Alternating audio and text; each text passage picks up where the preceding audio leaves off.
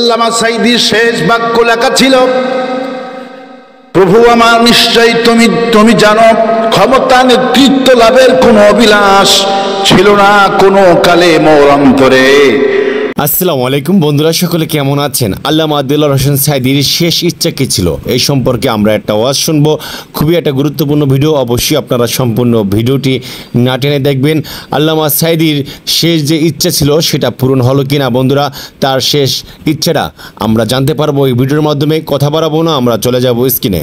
আল্লামা সাইদির শেষ বাক্য লেখা ছিল, প্রভু আমার নিশ্চয়ই তুমি তুমি জানো ক্ষমতা নেতৃত্ব লাভের কোনো অভিলাষ ছিল না কোনো কালে মোর অন্তরে। শুধু বুক ভরা আশা, একান্ত দয়া পরশে সামিল করে নিও বলে তোমার প্রিয় গোলামদের কাতারে। আল্লাহ পাকে গোলাম, শেষ বাক্য আল্লাহর গোলাম হতে চেয়েছেন। জীবনের শেষ ওসিয়ত নামা বইটা কোটি কোটি দর্শক পড়ল। কি সুন্দর করে ওসিয়ত পড়লেন। পড়লে চোখের পানি ঝরে তার কথা শুনলে চোখের পানি ঝরে, কোরআন শুনে চোখের পানি ঝরে। বাংলা লেগেছেন এত সুন্দর, চোখ থেকে দর দর করে পানি ঝরে। তিনি বললেন, যখন আমার মৃত্যু ঘনি আসবে আমার সন্তানেরা, তোমরা চতুর্দিকে বসে বসে আমাকে শোনাবে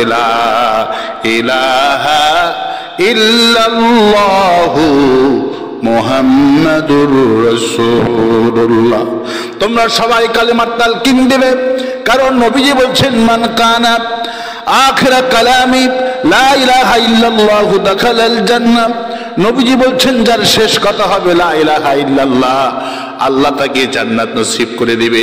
আবার মৃত্যুর পরে কেউ কাঁদবা না।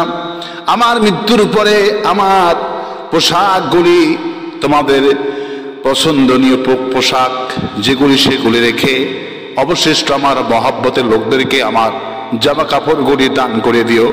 আমার যতগুলি তাফসির আমি পড়ে পড়ে সারা দুনিয়ার মানুষদেরকে আমি তাফসির শুনিয়েছি।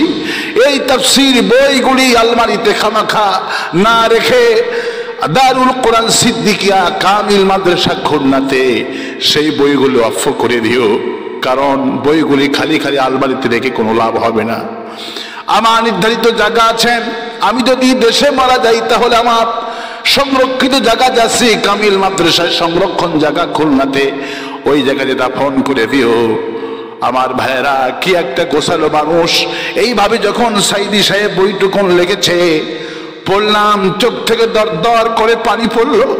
আল্লাহর অলির লেখাটা এত সুন্দর, পড়লেও চোখে পানি ঝরে। আবার তাফসির শুনলেও চোখের পানি ঝরে। কি সুন্দর লেখা তার প্রভু আমার নিশ্চয় তুমি জানো। ভাষা দেখছেন কত সুন্দর। প্রভু আমার নিশ্চয় তুমি তুমি জানো, ক্ষমতা নেতৃত্ব লাভের কোনো অবিলাস ছিল না কোনো কালে মোর অন্তরে। শুধু বুক ভরা আশা, একান্ত দয়া পরশে সামিল করে নিও মোরে তোমার প্রিয় গোলামদের কাতারে। আজকে তো আপনারা হাজির হয়েছেন। আমি তো বলছি, আমাদের এমন নেতা আমরা পেয়েছি কেমতের দিন আমরা হাজির হব আল্লামা সাইদের পেছনে কাতারে দাঁড় করাতে চাই আল্লাহ পাক বলেছেন ইয়াউমানাদু কুল্লাউনা সিম্বি ইমামিহিম কেমতের দিন সবাই ইমামদের পেছনে লাইন ধরে ডাকা হবে। আমাদের ইমাম হবে সাইদি।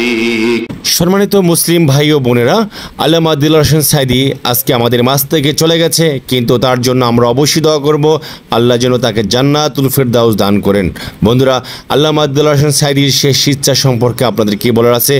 এই সম্পর্কে আমরা একটা ওয়াজের মাধ্যমে জানতে পেরেছি, তার শেষ ইচ্ছা ছিল খুলনাতে তার দাফন হবে।